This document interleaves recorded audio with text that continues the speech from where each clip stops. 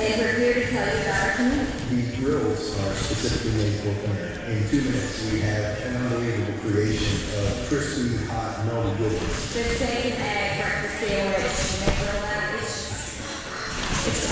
issues. We just keep introducing new flavor combinations. The Cuban chicken beans crunch, just a bit of spiciness. You can eat a different thing every day and never try Make today better.